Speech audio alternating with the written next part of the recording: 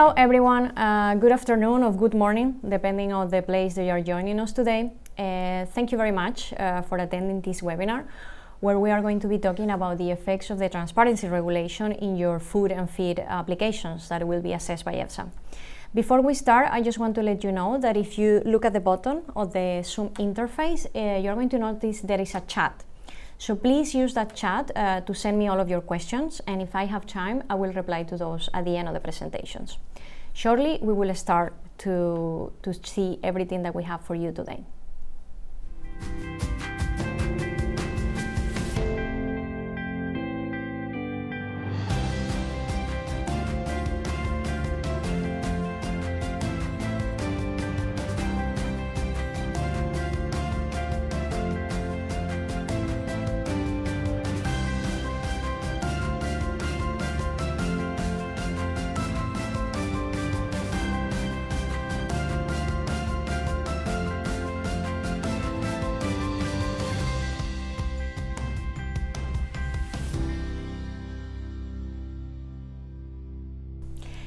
As I said before, we are going to be talking about the implications of this uh, new European regulation on transparency on food and feed applications that will be assessed by EFSA. Before we start, I just want to talk you a little bit, or I just want to let you know a little bit which are how, how the presentation is structured. So we are going to start taking a look to the rationale behind why the transparency regulation uh, was put together and is going to be implemented in Europe. After that, we're going to go straight to talk specifically about all of those articles that are going to apply to your food uh, and your feed applications.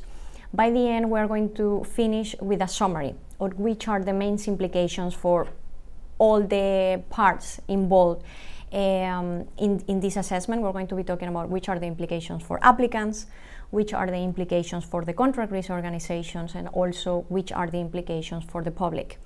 And since we, since you probably saw in our adverts for this webinar, this is actually the second edition of this webinar. So therefore, in previous edition, we already received uh, some questions from uh, people involved in the application procedure that we are going to be sharing uh, with you today. So let's get started. Uh, everyone knows the regulation as the transparency regulation, but the actual legal name or the actual name of the regulation is Regulation uh, 2019-1381. And in this first slide, I just want to notice, uh, want you to notice that there are two dates. So we have the entry into force date that it, it was actually last year, the 26th of, 26th of September of 2019. But the day that you have to mark on your calendar is the 27th of March of 2021. So that is the date uh, from which the transparency regulation is going to apply. So therefore, all the applications that you submit from that date onwards are going to be assessed taking into account the requirements of the transparency regulation. I also want to let you know that uh, there is a, a, small exception on these dates that are for points 4 and 5 of Article 1 uh, those points are going to entry into force or are going to apply from the 1st of July of 2022. And those points are related to the members of the EFSA Management Board, to the Scientific Committee, and the scientific panels. Also, for you to know everything that is related to these uh, groups, we are not going to be talking about those uh, in this webinar. We are only going to focus on the articles that apply to your the, to the authorizations or any application that are going to be assessed by EFSA. There is a total of nine legislative acts that are going to be affected by the transparency regulations. On a first place, and is also the regulation where you're going to see the biggest impact of the transparency regulation, is the general food law. And that one is the one that applies for both, uh, for food and for feed applications. So we are going to be focusing on that one. But also for you to know, the transparency regulations uh, also applies to the regulation on genetically modified food and feed, to the regulation 1831 on feed additives, to the regulation uh, dealing with uh, smoke flavorings, uh, food contact materials, food additives, enzymes, and flavorings, to plant protection plant protection products that are uh, pesticides, biocides, to novel foods, and also to the Directive uh, 2001, that is the directive on the deliberate release into the environment of genetically modified organisms. Why are we getting this regulation? There is a reason behind it. So, on a first place is due to the fitness checks of the General Food Law. This fitness check started in 2014 and finished in 2018. And as a consequence of the fitness checks of the General Food Law, the authorities realized that it was a need to improve transparency and the independence during the evaluation of regulated products. And the authorities also realized that there was a need to improve the risk communication. But also, we are getting this uh, new regulation in response to a European citizens' initiative that it was called Ban Glyphosate and Protect People and the Environment from Toxic Pesticides from 2017. So, of course, the main objective of this uh, citizens' initiative was to request the ban of glyphosate. Uh, for that first objective, um, the response was negative because the authorities considered that it was not enough scientific evidence to support uh, the request. But the second objective of that um, initiative was to ensure, to request to the authorities to ensure that the scientific evaluation of pesticides for European regulatory approval is based only in published studies which are commissioned by competent public authorities instead of the pesticide industry. As a consequence of that second objective, the Commission committed to come forward with a legislative proposal aimed at first, enhancing the transparency of the scientific assessment, and second, enhancing the quality and the independence of the scientific studies that are assessed by EFSA. So now let's get started with the most important part, which are actually those articles that you need to take into account when you are drafting that dossier, when you are planning those studies for a food or a feed application. So the topics that we're going to be talking about are pre-submission advice, notification of studies, consultation of third parties, verification studies, transparency, what is going to be released to the public, confidentiality, how we are going to deal with confidentiality from now onwards, the protection of personal data, the standard data formats, and we're also going to be talking about this figure of fact-finding missions. We're going to start then with Article 32A, that it mentions the possibility of now requesting pre-submission advice for new applications. So now all the potential, potential applicants can request advice to the European Food Safety Authority. The first thing, please notice that this is optional for new applications, it's not mandatory. So on what can you request uh, advice to the authorities? You can request advice on first, which are the rules applicable to that um, dossier and which is the content required. Now, there are things that we still don't know about this article. For example, we don't know uh, the format. Are you going to be, uh, is the authority going to be delivering the advice via a teleconference? Or do you have to write the request and send an email to EFSA? We also don't know how many times can you request advice. If I have to bet, I will say only one time, but we don't know. We don't know if there is a limit. We also don't know if the applicants are going to be requested to pay a fee.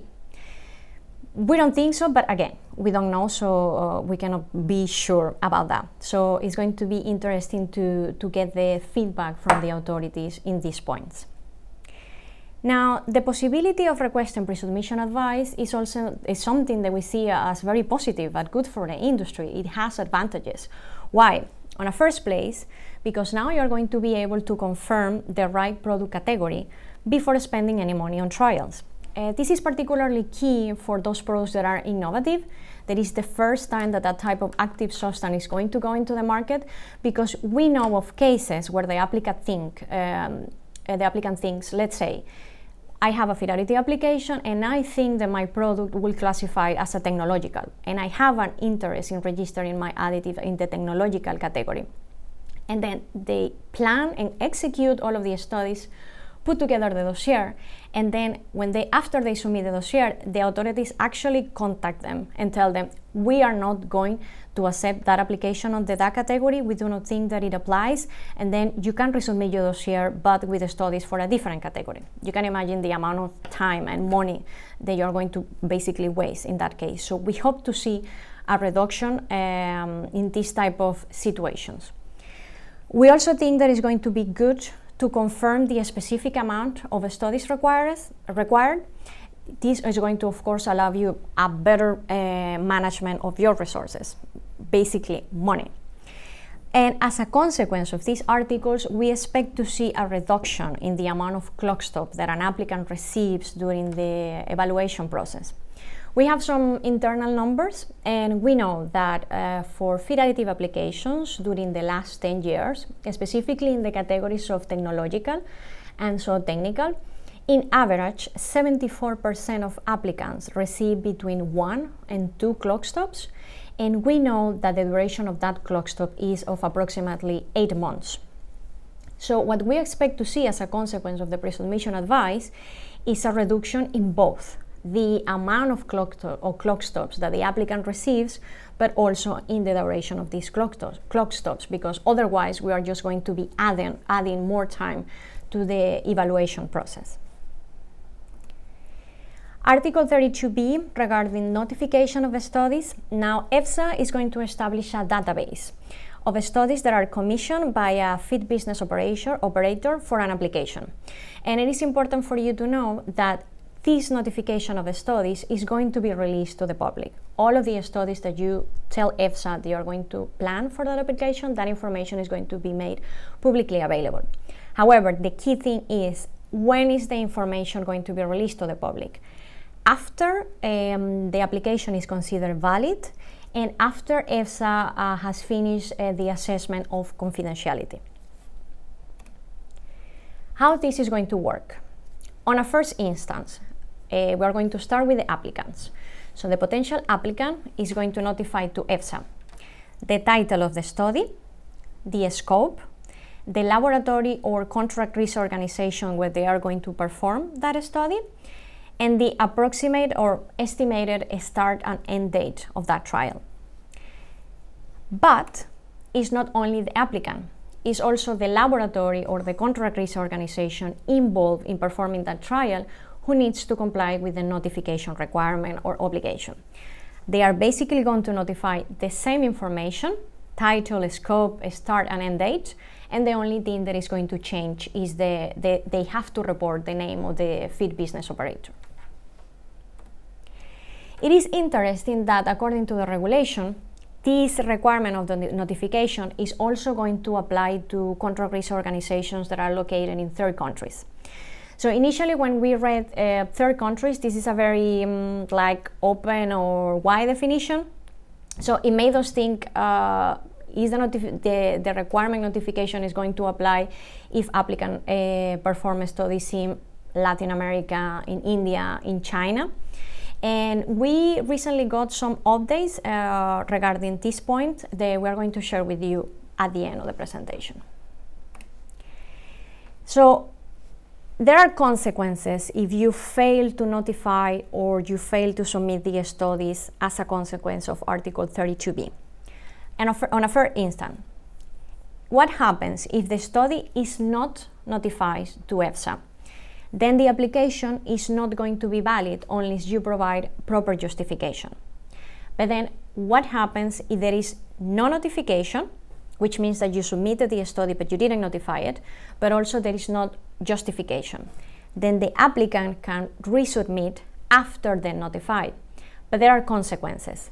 The assessment of the validity of that resubmitted applications is going to start after six months. So you better notify your study or you know automatically what is going to happen. Then the second scenario is what happened if you notify the study but you didn't submit it. Basically the same that before. So your application is not going to be valid on, unless you provide a proper justification regarding why it is in the database for notifications, but they are not getting that information. So you do not submit and you do not justify. Again, you can resubmit the application, including all those studies that you notified, but then the assessment of the validity is going to start after six months. And then the third scenario is if a notified study is submitted partially to EFSA. So you complied with the, with the two previous steps. You notified and you submitted, but you submitted partially. Then the applicable time limits within which the authority shall deliver the scientific out- output is going to be suspended. And that suspension is going to end after six months of submission of all data. Then be very careful do not submit uh, dossiers uh, with incomplete information just to pass validation because you know what is going to happen. But there are also uh, some points pending to clarify here because first, we still don't know if EFSA is going to put an effort to check in thoroughly all the information and let the applicant know at the beginning if one of these situations it is happening, particularly regarding with the submission of partial information. So all applicants are going to know at the beginning, like this is considered submitting partial information, therefore you are subjected to the penalty of six months, or if it's going, to, it could happen at any point during the assessment. But we also don't know how strict it's going to be. Let's say that you only forget to copy and paste a Tukey test for one of the parameters and for the rest, you have a perfect study report. Is this penalty going to apply just for that minor fault, or is this going to be handled in the current way uh, that we have with a normal clock stop, where you're requested to submit supplementary information? Or is this something that is going to be uh, then only going to apply when you there is a, a serious, uh, a critical um, lack of information, such as the case when you forget to submit all of your statistical uh, printouts. So I think that we're only, perhaps we're only going to get uh, this information after EFSA uh, starts to assess applications under the new transparency regulations, but we're definitely going to, going to keep asking about in the meetings that EFSA is going to uh, organize before the 27th of March of 2021. The consultation of third parties, Article 32C. First of all, we are going to talk about the consultation of third parties in the case of renewal of authorizations. So in the case of renewal of authorizations, the potential applicant now has to notify to EFSA in advance the studies that they intend to perform as part of that renewal application. With that information, EFSA is going to launch a public consultation. And that public consultation is also going to, going to cover the design of the studies. So everyone is going to have access to the public consultation. General public, university, stakeholders, your competitors. Then EFSA takes the comments from stakeholders, competitors, university, the public, and then they are going to use that feedback to provide advice to the applicants on one, the content of the applications, and also the study design.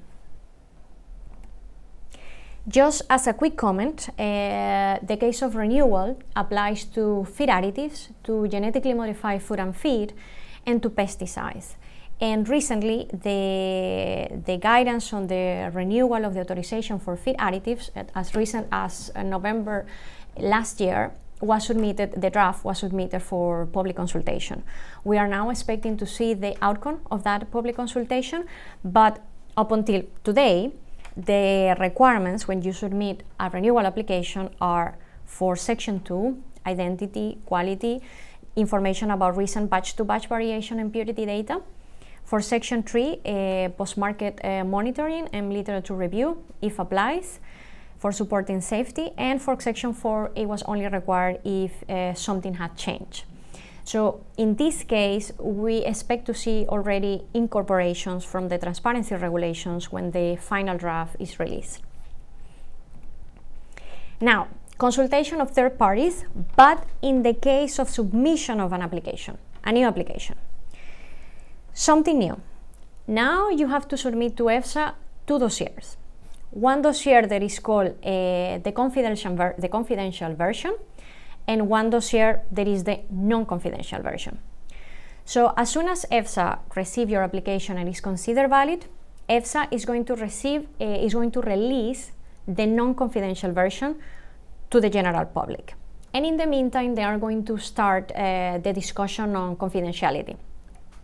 Once the assessment of confidentiality finishes, EFSA is going to release the rest of the pending information. Imagine that you requested something confidential, EFSA didn't agree, you agree with, the, that answers, with that assessment, so that uh, let's say a study report, is also going to be released to EFSA. And then, at that moment, EFSA is going to launch a public consultation to identify whether other relevant information, such as more scientific data, more studies from whoever, are available. This is going to be particularly relevant for people that are supporting certain things within the dossiers using literature review.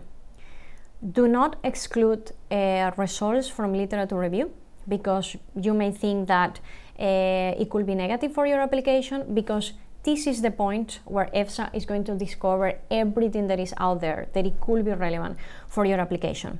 So please include everything and just use the time to provide the authorities with the proper justification or interpretation of those results considering your, your particular product.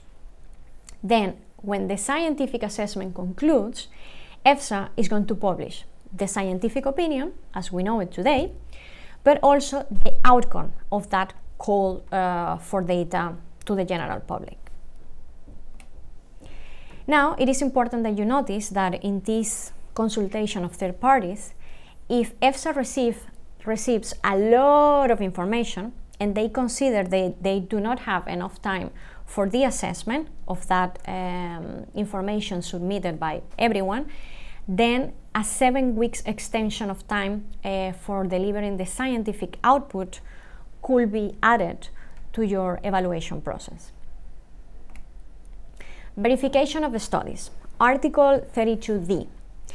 If there are controversies or conflicting results, now EFSA can and will commission studies directly to the contract research organizations. What they want to do is they want to just verify the evidence that you submitted. And it's important, important that the applicants notice that these studies may have a wider scope than that that was considered in the original application. Transparency. What is going to be released to the public? So EFSA is going to make public the scientific data and studies that you include in your application including supplementary information provided during the evaluation. This means that it's not only what you submitted initially. Everything that any additional request for supplementary information, that is what we submit uh, when we receive a clock stop, is also going to be released to the public. The summary of advice uh, provided to applicants at pre-submission phase is also going to be released uh, to the public once the application is considered valid. And then also the minority opinions and the results of the public consultations that we were talking about uh, in the previous section. This information is going to be available on the EFSA website and it's going to be available on an electronic format that everyone can download, print, and search through. Also regarding confidentiality, which are the specific points uh, for which you can request a confidentiality protection or assessment or treatment. Upon request, EFSA, please notice that EFSA is highlighted in red, I'm going to come back to that in a minute, may grant confidential treatment only to manufacturing process and analytical methods, to technical and industrial specifications, in the case of feed additives, to study plans for efficacy studies, but then the transparency regulation is very clear that is in relation to the aims of intended use. And yes, it applies to all feed additives categories. Uh, regarding impurity specifications, except those that may have an adverse effects. You can also request confidential, uh, confidential treatment for the detailed description of starting substance or preparation used for manufacturing the product in the case of food for the detailed description of the composition of material or products on which the sub substance intended for authorization will be used. So that will be the case of enzymes. And also for analytical information on variability and stability of individual production batches. So the transparency regulations uh, is very clear regarding the fact that uh, intellectual property, data exclusivity and protection is going to be guaranteed. Now, as I told you before, EFSA, I have highlighted EFSA in red because up until today and up until the 26th of March, 26th of March of 2021, this confidentiality uh, request has been assessed, uh, is assessed and is going to be assessed by the European Commission. Now this changes. Now it's EFSA who is going to be responsible. So it's going to be very interesting to see how this plays out. Um, is it going to be more efficient, or is it going to take more time, or is it going to be more complicated to come to an agreement? So we're going to have to wait and see. How are you going to request the confidentiality, like the practical implications? First of all, remember that for everything that you request to be treated as confidential, you need to provide a justification. Second of all, you have to prepare two applications. Uh, practical meaning of this, two dossiers. The non-confidential version and the confidential version. And even in the confidential version, you need to take the time to clearly mark everything that you are requested to be treated as confidential. Let's say you mark it in red letters. So once the application is considered valid, the non-confidential version is going to be released to the public, as I said before. The applicant is going to be notified in writing if the authority intends to disclose some information. This is in the case where they do not agree with what you're requesting to be treated as confidential. So if the applicant disagreed, they can. One, or they withdraw the application, or two, they provide arguments. But they need to do this within two weeks of the notification.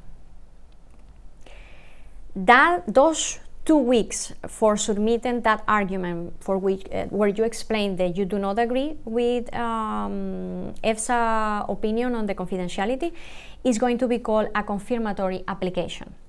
Then, if the applicant still disagrees with the response from the authority to the confirmatory application, they are going to have two weeks after the notification for withdrawing, for withdrawing the dossier or the information is going to be made public.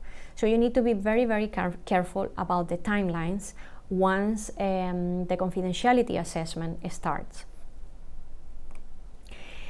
The decision on confidentiality will be taken within 10 weeks after receiving the request. But then we have the review of confidentiality, and this is new. After the scientific evaluation, meaning before the publication of the EFSA opinion, the authority can revisit its decision on confidentiality and change it. Of course, applicants are going to be duly notified. So this is also new. Now you have two parts of the assessment uh, where the authorities are going to review your request for confidentiality. So it's not like they did it at the beginning and then you do not have to worry again anymore, but you need to be prepared uh, for the case in which uh, the authorities decide after the whole assessment that there is something else that they want to release to the public and engage in the proper conversations with the authority if you do not, do not agree uh, with that decision. So remember, confidentiality is now going to be assessed twice. The protection of personal data, also something um, very delicate in this uh, in the whole evaluation process. What is going to be made public?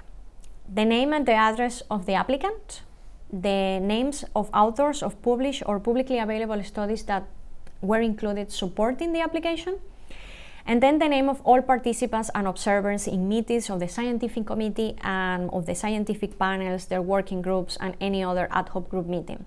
So there is nothing new here.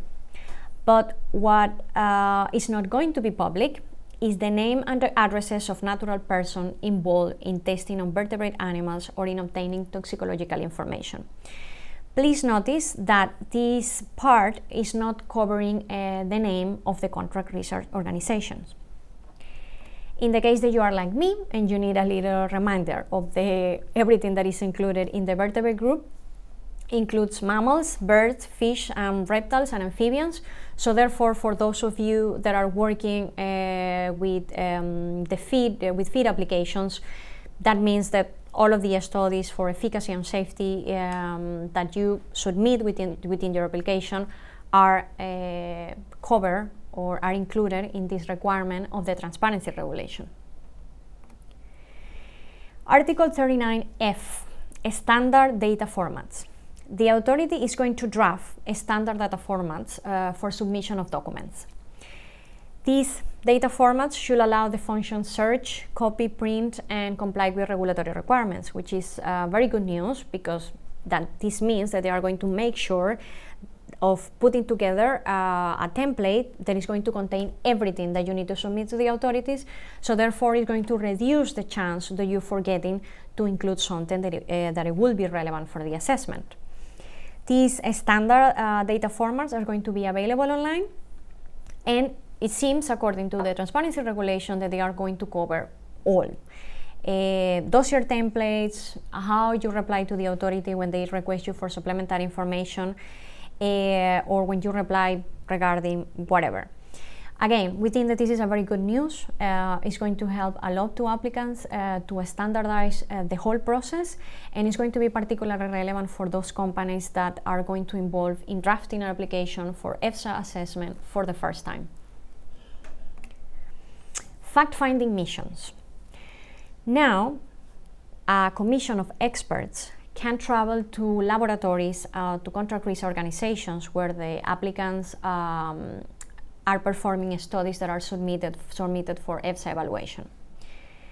And what they want to check, this commission of experts, is if those contract research organizations or laboratory are in compliance with relevant quality standards or relevant quality standards and if they are complying uh, with the notification obligation contemplated in Article 32b. Interestingly, the regulation also contemplates that these fact-finding missions could go to the definition of third countries. So again, we're really looking forward to see how far away the authorities will travel in order to inspect uh, laboratories that are involved in performing trials for EFSA assessment. At this point, we have covered all of the specific art articles that are going to impact uh, your food and your feed applications. And now we are going to summarize we, uh, which are the implications of the transparency regulations for applicants, for contract research organizations, and for the general public. So we're going to start with the applicants. In the case of applicants, now they have the, possi the possibility of requesting pre-submission advice to EFSA. And this, we hope, it will save time and money. Now the applicants have to notify all studies performed for an application or a dossier to EFSA. If this procedure is not carried out properly, it's going to significantly delay the evaluation process. Remember, the six months. As a consequence also for applicants, now the competitors and the general public will get access to the advice provided by the authorities at pre-submission phase for both new applications and renewals. We also have that now EFSA could challenge the overall results of either an in vivo or an in vitro trials and request verification studies to make sure that they agree with those results that you provided initially. The applicants will need to be more careful uh, when requesting the treatment of certain data as confidential, since information that was not considered uh, was not confidential before, but was only seen or assessed by the authorities, will now be released to the public. This is the case of animal trial study reports. So basically what happens uh, with information that you can treat as confidential, it has not changed when you can request as confidential. It's basically the same that we can request as confidential today. But there were things that you never worry about marking as confidential or requesting uh, this confidential treatment simply because they were not released to the public. The full final study report of an efficacy study for a feed additive application was not released to the public. But now you have to take the time to review that study report carefully, mark things as confidential, but also write the justification for each point that you want to request as confidential. So that is what it changes. As another point of implications for applicants, we have then now the information submitted to EFSA. We'll have to follow specific data formats, as we say before, for dossiers, for supplying uh, supplementary information and that the confidentiality request will be assessed twice at dossier submission and after evaluation. Lastly, in the case of applicants, now preparing an application is going to require more time. Why? Because now applicants have to prepare the pre-submission paperwork, whether it is for a new applications or for renewals. You have to take time to go to the database and notify the studies. And if something happens, remember, if you uh, submit but do not notify or you notify but you do not submit, remember that you need to provide a justification. The applicants also need to take more time to prepare two versions of the dossiers. Remember the confidential and the non-confidential version. They have to prepare justifications for everything that is going to be marked as confidential. Again, extra time. And you need to mark and or mark for requesting um, as confidential information that before was not released to the general public. As we say before, like in the case of the full study reports for the different trials. In the case of the contract research organizations that are also impacted by the transparency regulation. Now the contract research organization must notify all studies that are commissioned by companies and that they know they will be submitted to EFSA evaluation. It is still pending to clarify what is, what is going to happen if the applicant notifies the study but the CRO does not.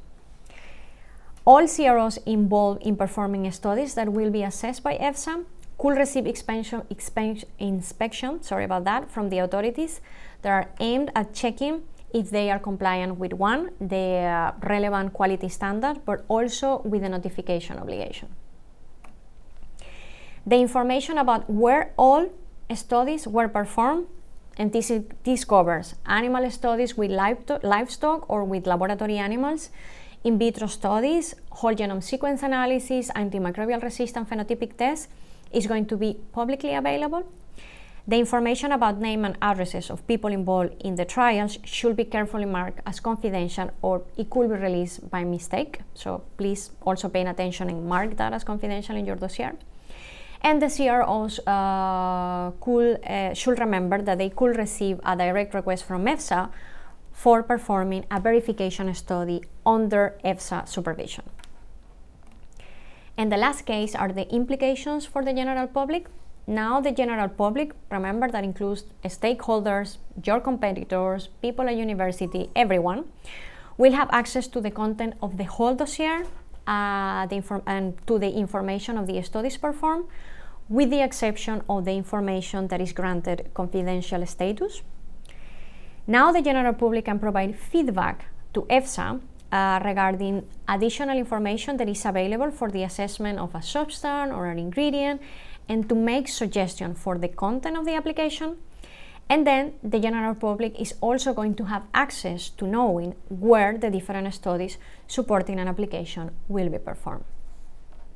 Well, now we have finished uh, with the presentation, and in brief, we are going to continue sharing with you uh, all of the questions that we receive as part of the first edition of our webinar, and also addressing the questions that you submitted in advance.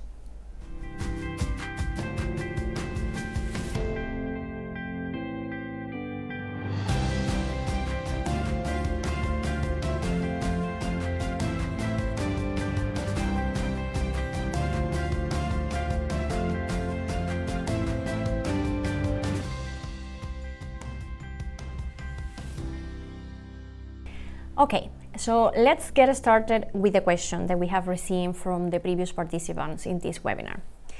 So one of the questions that we received was, will EFSA issue a guidance document on confidential information in the near future to provide clarification on this topic of transparency regulation?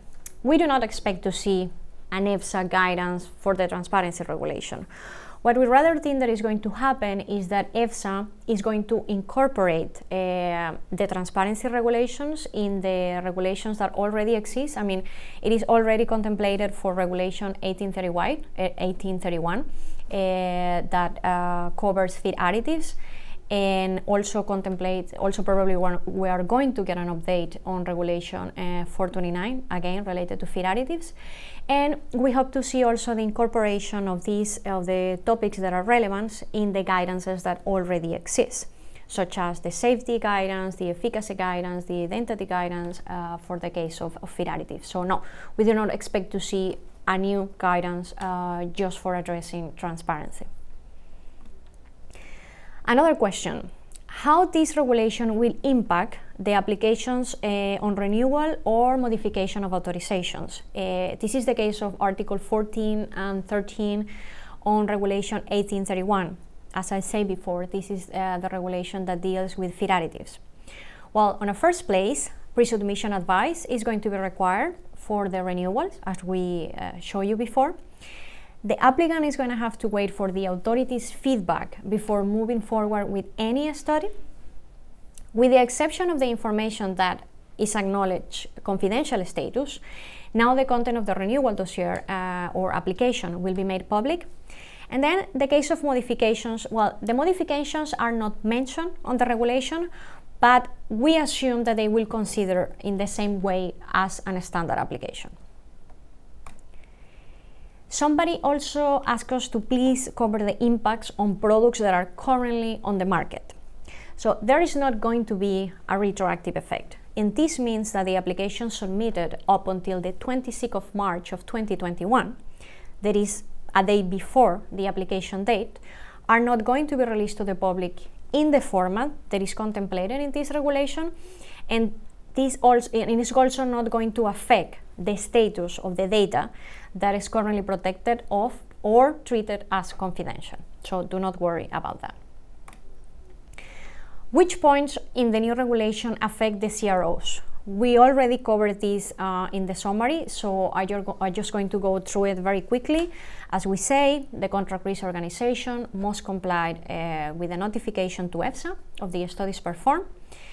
It's still pending to clarify what will happen if the applicant notifies but the contract research organization does not.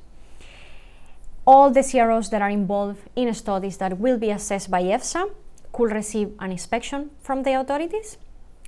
The information about where, where all the type of studies uh, are performed is going to be released to the public. You have to mark the information regarding the name and the addresses of the people involved in the trials as confidential. And then the CROs could receive a direct request from EFSA for performing verification studies under their supervision. Somebody also wanted to know if we could keep more confidential than we currently can't. As I said before, you can basically require as confidential the same things that you can request as confidential today, but you need to use more time for one, marking things as confidential that before were not released to the public, and two, provide justifications for every single thing that you want to request to be treated as confidential.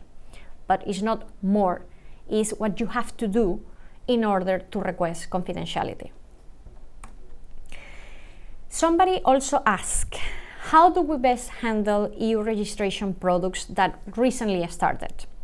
Will it be an advantage for us to force them through to a submission to the EC and EFSA before March 2021? Or can we expect all trials performed before the deadline to be accepted, even though not notified and submitted after the enforcement date on March 2021? So, what happens is that on 27 of March of 2021, the system for notifications should be up and running. So therefore, if you submit an application before March 2021, the application requirement is not going to apply. The system is not going to be even in place. So if you submit the full application before that, you do not have to worry about notifying. But if you submit an application after the 27th of March, then you have to notify the studies, the study regardless of the date when you perform it. So what is, it is not important, important when you perform the study. What it is important is that if your application is going to be submitted after the 27th of March, you just notify the study before, once the system is available to do so. What happens if a company decides not to move forward uh, with an application? Are the notifications deleted from the EFSA database? The answer is we do not know. But what you do need to keep in mind is that now you have to prepare the two dossiers, the non-confidential version and the confidential version, and as soon as your application is considered valid, the non-confidential version is going to be released to the public. So therefore, if during the confidentiality assessment is where, where you do not agree with EFSA and you say, okay, this is not correct for me, I'm going to withdraw the application, what is going to happen is that that we, we expect to see that everything that was marked uh, as confidential is going to remain the same. But remember that the public version was already released. So that probably is going to still uh, be available to the public even if you withdraw the application. In practice, how people is going to notify this, we still don't know, but let's assume that they use the EFSA register of question. So what we think that is going to happen if you decide to withdraw the application is that probably the non-confidential part is still going to be there, but then there is some type of notification that is going to say that the, this application has been withdrawn. But again, we still don't know if, if the notifications are going to be uh, deleted from the database. What happens if you perform a study for a dossier approval in an ex-EU country and at a later date you decide to use this study also for a European submission and since then you have not notified it. Very simple. You just have to notify the study before you submit the dossier. That's it. Always, if you are after 27 of March and you're going to submit an application, notify the study before. Somebody told us, I believe that the study design should not be published in case of feed additives. This is, this is specified in the text for feed additives. The regulation contemplates that the study plans for the efficacy trials that support a feed additive application could be treated as confidential, but then the regulation is very clear. It says in terms of the aims of its intended use. So, so what we do not know so far is how much that definition is going to cover and how much of the study design we are going to be able to keep confidential after that definition. But also please notice that in the case of renewals, the transparency regulation is very clear. The authority should launch a consultation of stakeholders and the public on the intended studies for renewal, including on the proposed design of studies. Is there going to be an extra fee for pre-submission advice? What we told you at the beginning that we didn't know. Again, we don't know yet, but we think that it's unlikely. EFSA is looking to employ approximately 150 more staff in anticipation for this regulation. Uh, but this is something that, they, that we will definitely keep asking um, during the meetings that EFSA uh, is going to have before the transparency regulation applies. What will be the impact on submission before the applied from date, but that the scientific assessment continues after March 27? For any application submitted prior to the 27th of March, the transparency regulations will not apply. And we have also an update for you uh, from the technical group meeting on EFSA Transparency Database uh, that was held at EFSA uh, the 19 and 20 of February of this year. So before I go through some of the comments that we had for you, I just want to be very clear about the fact that these are still ongoing discussions. There is nothing set on a stone. We, I'm just going to share with you what was discussed at the meeting and that it is still pending to, to decide something on these points. And also, uh, a lot of the questions that were addressed to the authority regarding these many doubts that I have been discussing with you during the webinar uh, were not addressed because the objective of this meeting was a, uh, was a meeting focused on the technical parts of the setting of the database uh, for notifications. So one of the things that it was discussed is uh, what happens if the applicant notifies the study but the contract research organization does not. So what EFSA is thinking at the moment and is discussing is that uh, it's about creating a system where there is a co-notification process. That means that the process is going to be started by the food business operator, by the applicant. They go to the website, they start the process, they notify the study, and then the system sends an alert to the contract research organization. So the contract research organization can also comply with their part of the notification obligation. And they are also thinking about uh, giving a time for, for the second part to introduce the notification, that it could be perhaps 30 days. And then if the information is not submitted by the contract research organization, then the applicant will have the opportunity to finish the notification. And they are also considering how it's going to work if you need to modify something uh, on that notification and then how it's going to work the interaction for the modification between the feed business operator and the contract research organization because both parties need to be aware of the modification. Uh, there were also discussions about the definition of what is considered the study start date and also the study end date. And what has been discussed at the moment is that the study start date should be considered as the moment when the first set of relevant data is collected and then the end date is considered as the last date when relevant data is collected. But again, still, these are things that are under discussion.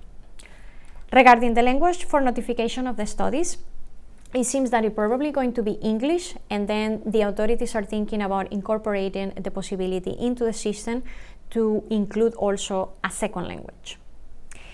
Regarding the question, most all contract research organizations in third countries comply with the notification requirement, and which are those countries that have agreements uh, with the EU?